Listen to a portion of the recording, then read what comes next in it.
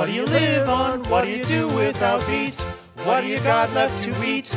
Well, there's broccoli, gingerbread, almonds, and rice, milk for your corn flakes, Asparagus, artichoke, apricot, or pineapple, and carrot cakes. banana, biscotti, sorbet, manicotti, and raisin and strawberry waffle. Tomatoes, potatoes, gazpacho, ancho, alfalfa, fennel, and falafel. There's coconut, baklava, cucumber, sesame, chili, and chutney, and cherries. And chickpea, cilantro, polenta, pimento, pistachio, pesto, and blueberries. There's apples and peaches and nectarines. Cornbread and cabbage and collard greens. Lemons and pickles and navy beans. Lemons and the tangerines. With so many treats, so neat, complete, and sweet to eat. Why bother to have a cow?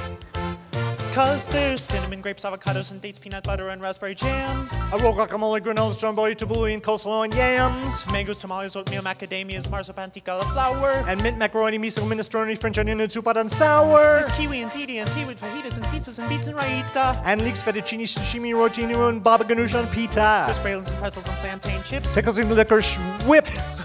Asparagus tips. Cumin and black bean dip with so many treats, so neat, complete, and sweet to eat. Why bother to have a cow? I can't hear the thing. With so many treats, so neat, complete, and sweet to eat. Why bother another cow?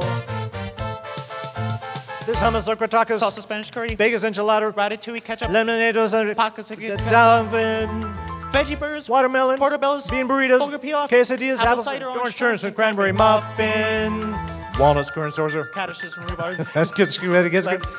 Lemonade, balsamic vinegar, by hoagies, and couscous, jalapenos, kale, popcorn, pears, partner, podge, pierogies, a veggie papaya, barley stew, to burst or fry, Marinade tofu.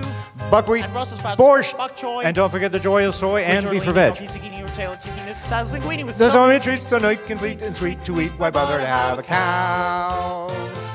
So many treats, so neat, complete, and sweet to eat. Why bother another cow? That's what we live on. That's what we do without meat.